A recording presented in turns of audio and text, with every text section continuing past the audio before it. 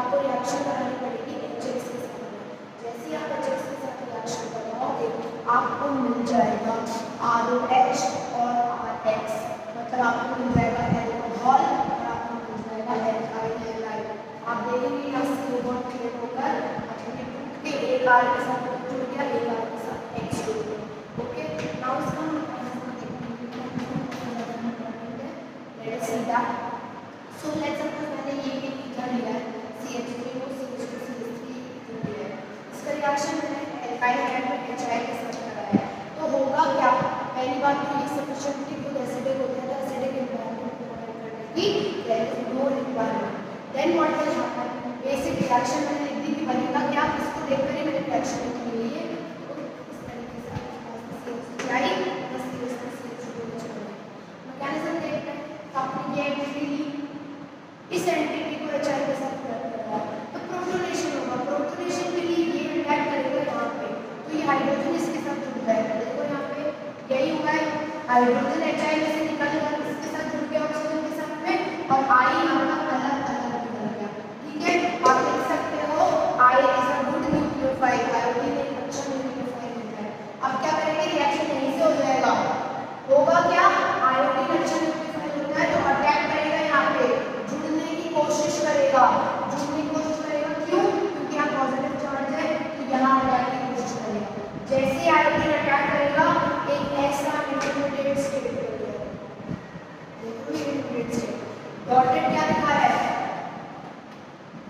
हैं आपको क्या शो कर रहे हैं? ये डॉट शो कर रहे हैं कि यहाँ पे ये अभी जुड़ा नहीं ढंग से और ये भी देखो, यहाँ टूटा नहीं ढंग से एक ऐसा स्टेज है जो बीच का स्टेज है ना तो ये प्रॉपरली टूट पाया है, ना ही प्रॉपरली टूट पाया है।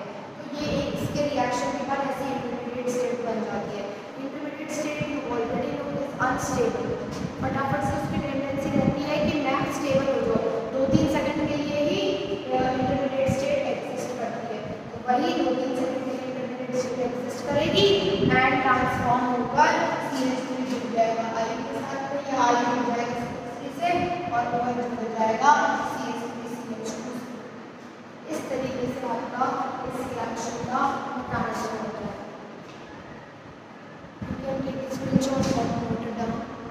अब हम बात करते हैं इसमें एग्ज़ाम्पल की।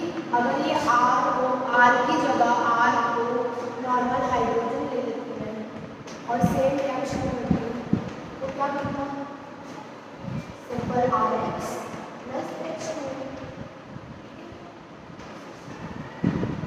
एक और चीज़ लेट्स सपोज़ मुझे ये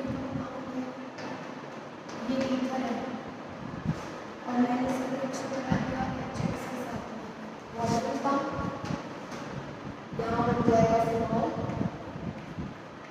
है ना और ये बन जाएगा आर एक्स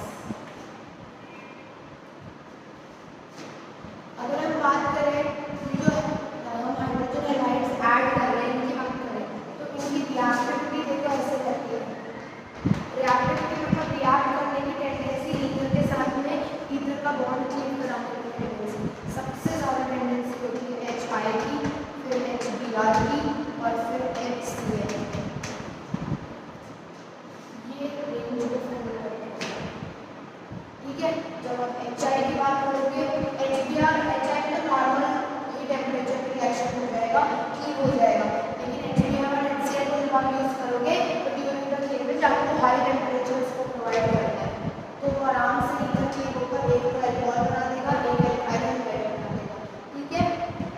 एक example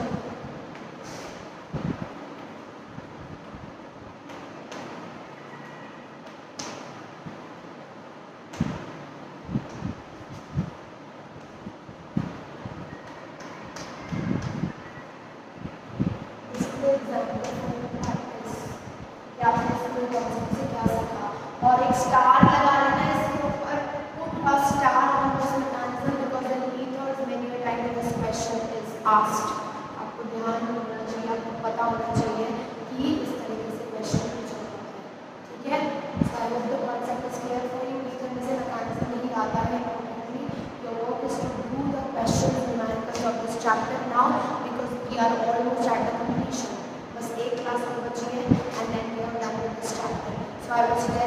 Start with the numerical problems of alcohol, and ethers. In case of any doubt, you can ask me. Now, thank you for watching.